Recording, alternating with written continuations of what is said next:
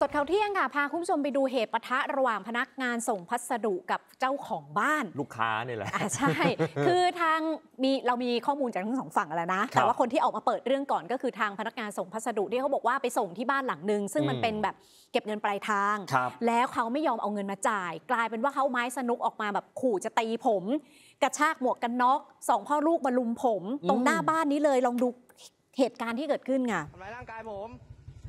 ร้อยได้เราวันบริษัทร้อยได้เราวันบริษัทมึงจะทำร้ายร่างกายผมแล้วพี่ ทำตรงไหนมึงทำตรงไหนอ่าเนี่ยหมวกกันน็อกผมอยู่ไหนครับ เออนี่ครับไปเรื่ยหมวกกันน็อกผมทำร้ายร่างกายผมนะครับนะเดือนไม่ติด ทำร้ายร่างกายผม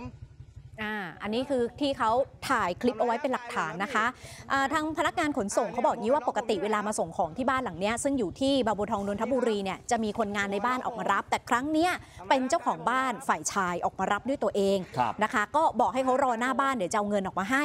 รออยู่นานเลยเขาบอกรออยู่นาน จนเจ้าของบ้านเดินออกมาก็เลยถามไปว่าได้เงินยังครับ ผมต้องรีบไปส่งที่อื่นอีกใกล้เลยเวลาแล้วเดี๋ยวโดนปรับ ปรากฏว่าเจ้าของบ้านสวนกลับมาบอก รอไม่ได้เอาของกลับไป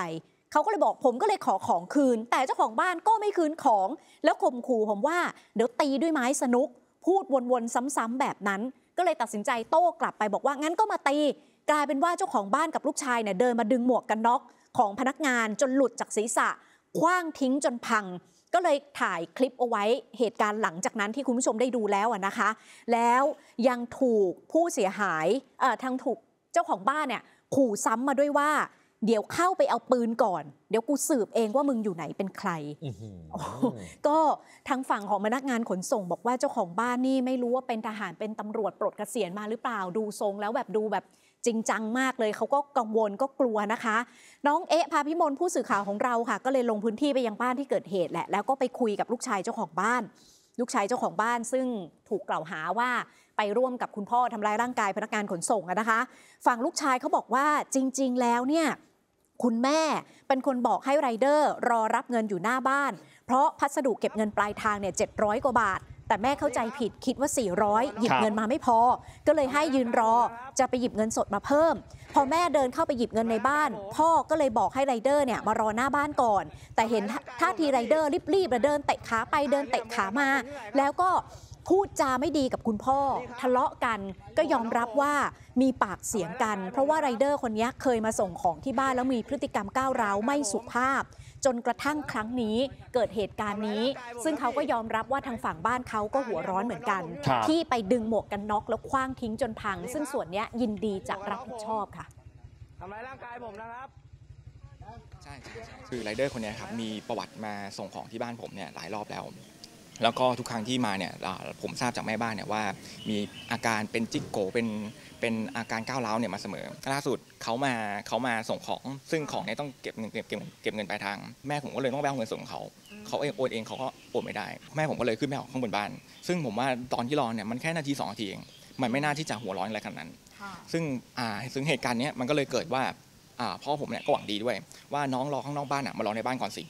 ทีนี้เขาก็เลยเข้ามาในบ้าน แต่ว่ากริยาของเขาเนี่ยเริ่มก้าวร้าวก็คือเดินไปแล้วเดินเตะไปเตะมา พ่อผมบอกว่าเขาทำอย่างนี้อยู่สามรอบ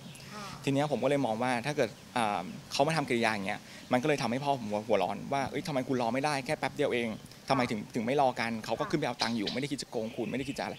จะอะไรคุณเข ส่วนทางฝั่งไรเดอร์เขาบอกว่าไม่จริงหรอกว่าที่ว่าเตรียมเงินไม่พออะไรก่อนที่เขาจะเข้าไปส่งเขาโทรแจ้งยอดกับเวลาที่จะเข้าไปส่งกับเจ้าของบ้านผู้หญิงแล้วอะก็บอครักบแล้วว่า 700กว่าบาทแล้วหยิบเงินออกมา 400ทำไมอืมกลายเป็นว่าเขาก็ต้องมาเสียเวลายืนรออีกนะคะ บอกว่า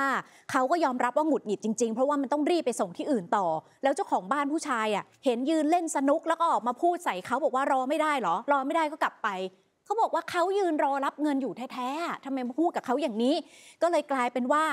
เนี่ยถูกฝั่งเจ้าของบ้านเอาไม้สนุกมาทำท่าจะตี มีปากเสียงทะเลาะกับลูกชายเขาอีก แล้วเขาเป็นฝั่งที่เอาหมวกกันน็อกผมไปเคลี้ยงนาครับเออทรัพก็ย์สินเลยผมเสียหาย บอกผมไม่ได้มีพฤติกรรมก้าวร้าวเวลาไปส่งของผมก็ต้องพูดเสียงดังอยู่แล้วไหมเพราะว่าผมต้องตะโกนเรียกคนในบ้าน แต่เอาเป็นว่าหลังจากนี้อะนะผมจะไม่ไปส่งของบ้านนี้แล้ว ผมโอ้โหแจ้งหัวหน้างานแล้วให้คนอื่นไปส่งแล้วกันครับ เออ